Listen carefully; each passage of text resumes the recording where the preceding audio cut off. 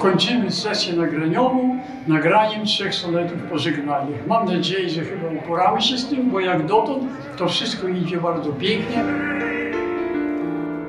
Sześć cykli pieśni y, Twardowskiego to jest razem 20 pieśni, y, które będziemy nagrywali. Dość duży ładunek emocjonalny. Tu mamy oczywiście do czynienia z bardzo różnymi pieśniami, bo to są pieśni z różnych okresów twórczości y, mistrza Twardowskiego i one mają też również bardzo różną i dramaturgię i bardzo różną tematykę.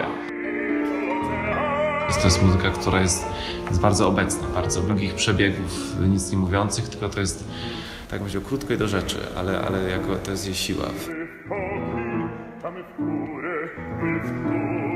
To jest ogromne szczęście, że możemy tę płytę w takiej formie nagrać.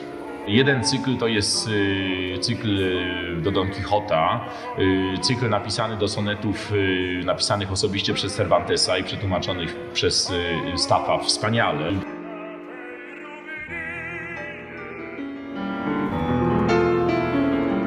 W tej muzyce jest coś takiego, jest jakaś organiczność. Myślę, że zarówno dla głosu, ale także dla fortepianu.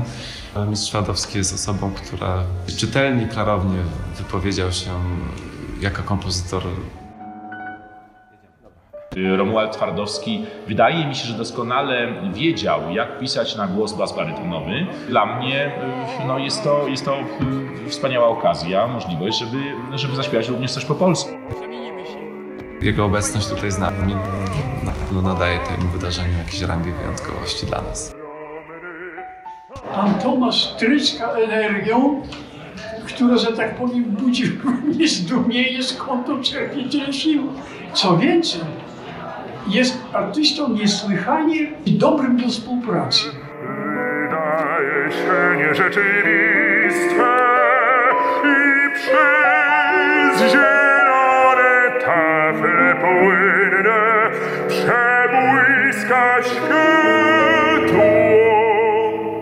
I może ta moja muzyka wokalna dzięki autorytetowi solisty i wydawnictwa zdobędzie sobie szerszy wobec słuchaczy.